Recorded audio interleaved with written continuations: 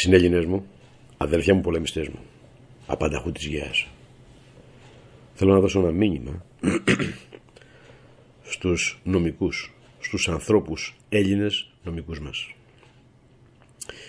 Και όχι μόνο στα ονόματα που φαίνονται, στον Μπαμπάνι το Φώτη, στον Σίμω το Γιάννη και σε όλα τα ονόματα, στη Μαρίνα τη Λάτση που είναι ενεργά, αλλά και σε νομικούς που ίσως δεν έχω τώρα το δικαίωμα να τους αναφέρω, αν δεν μου δοθεί, που εργάζονται και συνεργάζονται με τον ελληνισμό, με το ελάνιο έθνος, όχι τον ελληνισμό, με το ελάνιο έθνος, με τους κυρίαρχους Έλληνες Ιθαγενείς, για όλα τα δίκαια και τα δικά μας, για όλη μας την απελευθέρωση, θα πω το γεγονός ότι δεν είναι μόνο νομικοί, είναι Έλληνες άνθρωποι, έχουν την τιμή και τον άπειρο σεβασμό μου και θέλω να έχουν και το δικό σας.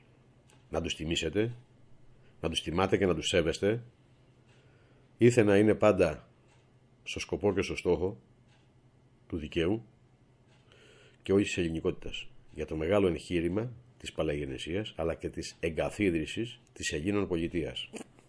Είναι μεγάλη μου τιμή σε τέτοιες στιγμές αυτά τα παλικάρια να μπαίνουν μπροστά και να πολεμάνε με το στήθος τους όλο αυτό το καθεστώς της ιδιωτικής εταιρείας με μεγάλες αδειξιότητες αλλά, αλλά στο πλάι τους όλοι οι Ελλάνοι οι πολεμιστές μου όλο όλοι οι Ελλάνοι οι γόνοι που με άπειρη τιμή τους στηρίζετε στηρίζετε όλα τα δίκαιά μας και μέχρι το τέλος μέχρι το τέλος όλοι μαζί.